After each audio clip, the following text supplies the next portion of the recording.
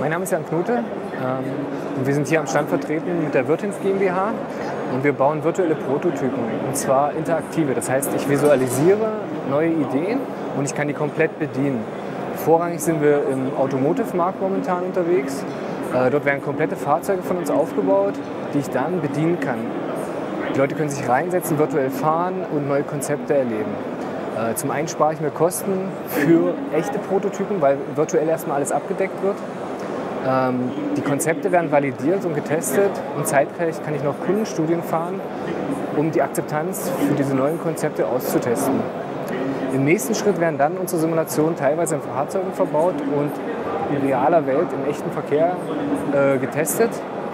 Und ich kann somit eigentlich komplett den Kreis in der Entwicklung schließen. Teilweise setzen wir nur kleine Konzepte um, wie zum Beispiel so eine Klimaanlage oder komplette Fahrzeuge.